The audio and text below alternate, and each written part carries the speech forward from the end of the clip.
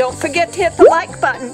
Be sure to subscribe. Turn on that notification bell so you know when videos drop. Thanks for watching. Ruffled pea chick feathers. When our pea chicks are hatched out of our incubator, they look very cute and have a lot of nice fuzzy little feathers on them. And in about eight weeks, like these pea chicks are, they start looking ruffled.